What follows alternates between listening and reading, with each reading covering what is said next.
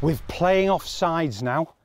So if there's two of you working, you can't go beyond, or else we'll stop it and start again. Two passes to make, George. Good, again. Play. Stay on side. Carry on. Good, what a flick.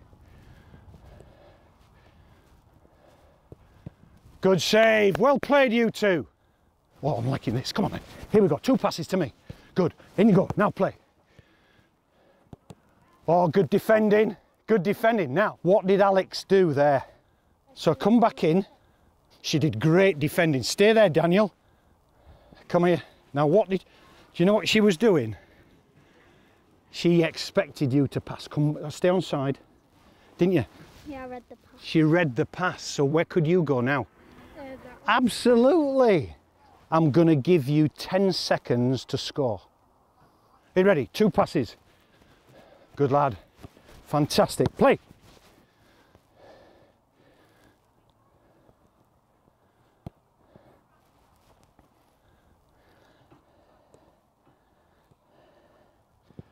Oh, fabulous. Great play, you two. Two passes. Good. Off you go. Offside, yeah? Now, if Alex is offside, you can't pass it.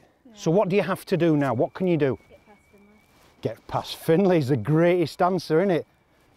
Well done, here we go. Good, one more. Play it into Finley. Go on, play together. Go on, work. Good lad, good lad.